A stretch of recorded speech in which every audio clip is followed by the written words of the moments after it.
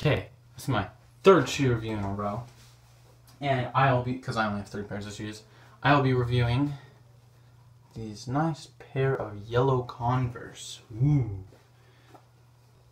Uh, so yeah. Let me just untie these real quick. Your boy's like a pro at tying knots. There we go. Um, shut up. Do not need to be charged. Let me just uh, slip this on my foot here. Ooh. These are also a size too big, maybe half a size too big, just like my Nikes. Uh, but let me just tie this. Just kidding, don't need to tie it.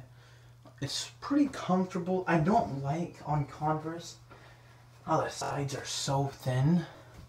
So that's probably gonna mark down points. And it, it fits pretty well on the sides, like width, but lengthwise there's like an inch of extra room down there. And I think that's just Converse, like, Looks like a clown shoe. But uh, anyway, really comfortable, solid quality, get stains easily, just like the Nike. So, yeah, I don't know. Need to do more in-depth reviews, but I don't know. I just don't know what to say. They're they're really good quality, but the laces are way too long, man. Like after I tie them, it's just absurd.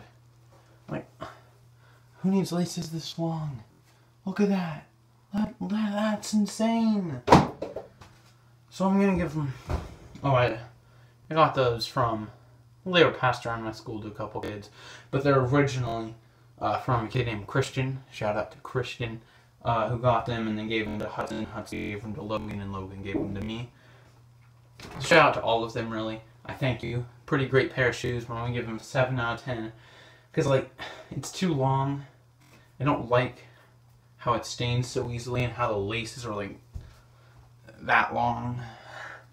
And uh, I don't like how thin the sides are, but still comfortable, decent quality Mm, yeah, that's episode 7 of my marathon and episode 3 of my shoe review.